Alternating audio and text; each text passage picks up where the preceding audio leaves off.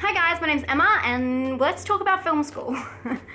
uh, this is a video that was really highly requested um, from you guys and also a video that my Patreon picked for me to do next.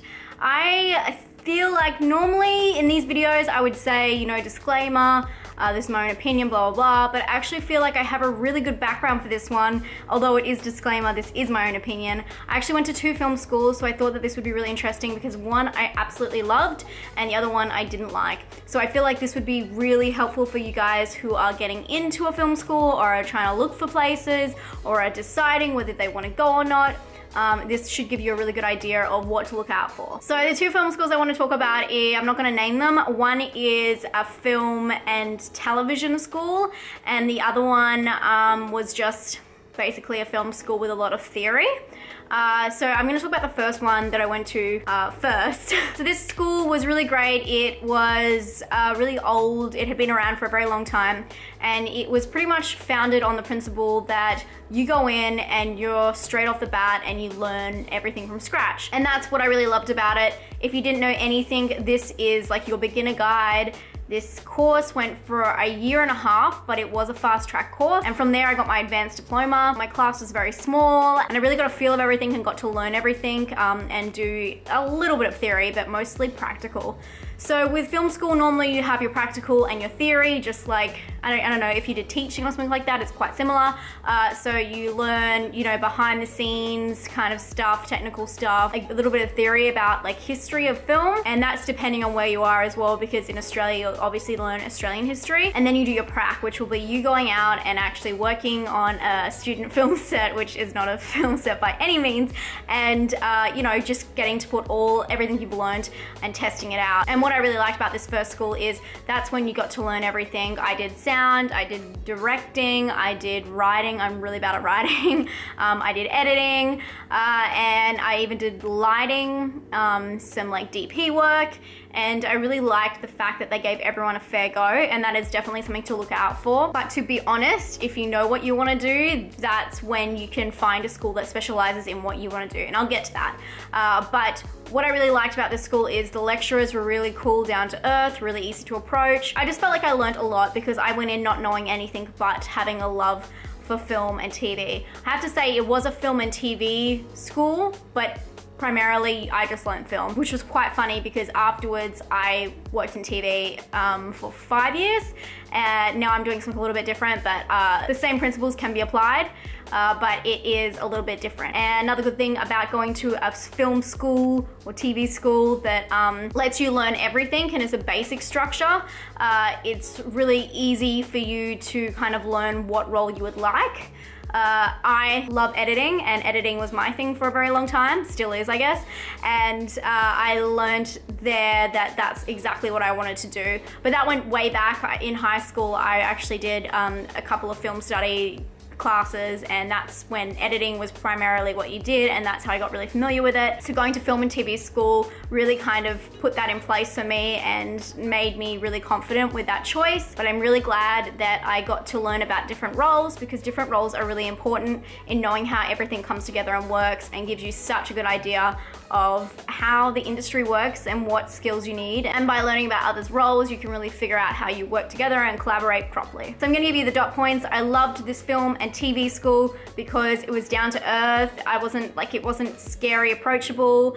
Um, they had different courses. So I went to the beginner course, but you could also go in for workshops that do like acting courses or like film writing weekends. Um, but I really liked the basic premise of starting off and learning everything fresh. Obviously that goes into me loving the fact that I learned every role and yeah, just having a good vibe. The film school I went to after this though was very, very different and this is a place that you are meant to meant to, I have so much to say about this place. You're meant to go in um, with a major, which mine would, would have been editing, and uh, kind of work on that throughout the whole time. It was a fast track course, just like my last course. Uh, but I had to use my advanced diploma to get into this. So you had to either have five years experience in the industry or I have an advanced diploma. So I got in through a fucking loophole. I don't know how. I only did a year and a half and then I got into this like school that was meant to be prestige. That course I believe was two years or or one and a half years, kind of similar time. And it was just so different. How they broke it up was they made it very like uni style, which I don't think works well for film. Uh, because it is so practical. And they tried to have theory classes and then um, practical classes, and it all just got mixed up really easily. An obvious thing that I keep very personal in my heart for this place is uh, they obviously had editing workshops or editing classes, whatever you want to call it. The teachers were great, don't get me wrong, but the structure was all off.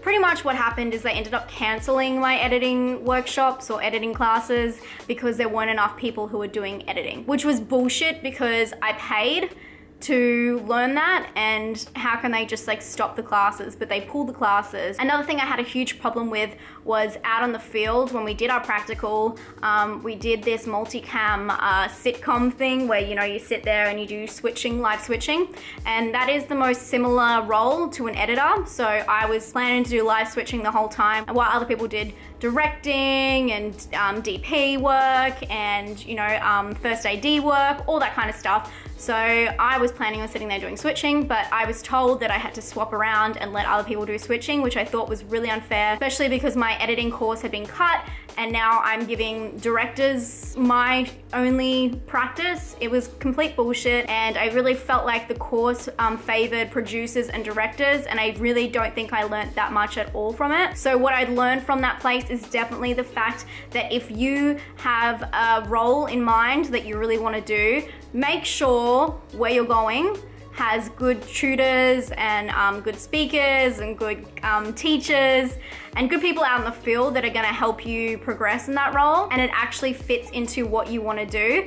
Uh, if I knew the editing wasn't as strong in this school, it would have been a lot different for me. And to give you some practical advice to do this, what you can do is call ahead, ask who the lecturers are going to be, ask uh, what their background is and really get a feel for what they're going to teach. Also ask what theory classes you, they're going to teach. Don't let people intimidate you by telling you, hey, you're lucky if you get into this film school, blah, blah, blah, because that is bullshit. You are there to learn, they're there to teach you, and you're paying them money. So don't, like, if you were doing any other course, it wouldn't be the same.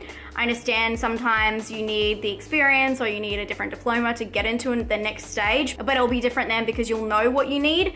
But if you're starting from the bottom, make sure you do your research. Another thing to be very wary of, I don't know if normal film schools do this, but I had a situation with my latter one where I paid a lot. I paid maybe triple what I did for my first film school, which I loved, which was, it's crazy. And from that, they took my money and they made productions out of it, but then they owned all of the rights to the productions. So everything you did for practical, so all the films you did, short films, short documentaries, whatever, they actually own the rights to that and they entered them into competitions and they didn't even tell me that I had won like an editing um, prize or just things like that. They had the right to do that and it was all marketing. So whatever you gave them money wise, they took out they funded their the projects that you worked on, but then also they kept the rights and then they use that for advertisement because they can go and enter your film into a certain competition and then say, well, I was gonna say the name of the place, then this school won for this, this, this, and then they can put that on their brochure. So it's like this six cycle, and I just don't think that I paid what it was actually worth. So my practical tips on how to win at film school is do your research, kind of realize if you want to go into a short course to learn about everything, or if you really want to do like screenwriting or something in particular, learn the best course for that. Talk to your lecturers or find out their past and um, their experience. Also, figure out where the money goes for where you are attending and talk to ex-students. Uh, I would recommend possibly asking a friend of a friend because a lot of people will just bullshit you if they have an amazing, uh, you know, like an amazing graduate that they've really helped out, they're gonna bullshit you. Uh, be really careful because it is a really, it can be a really sucky place and I don't know if I've just had a really bad experience, but people can get different things out of it and that's really what film school is all about you get what you put in, um, but also remember you're there to learn, so make sure that you're learning what is actually gonna be valuable to you. Another thing I really wanna mention is film school is definitely an optional choice. Although I do believe you need to know your shit, you also don't need to pay thousands and thousands of dollars to learn it. I know a lot of people who have done it opposite way to me, where they have gone and just worked from the bottom to the top in a um, production house house or at a TV network and then um, gone and did some training afterwards. I want to make that very clear because I've never ever, I have no idea where they are actually, showed any of my two certificates in any job I've ever been in.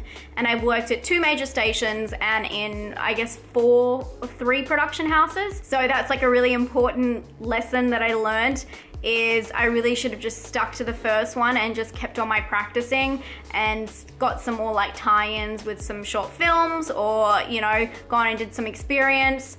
Just make sure that you're putting your time into what works for you and what works for your role. I really hope this was interesting and um, helped you out. I know it's kind of hard for me to tell you what to do and what the right choice is because uh, obviously you guys live in all different corners of the earth and all different little towns and all different big towns but I think just do your research before you go. Talk to anybody who's done it before and try and figure out if you want to learn a little bit of everything or if you want to learn about a role in particular. I'll try and answer any questions you guys have down in the comments below.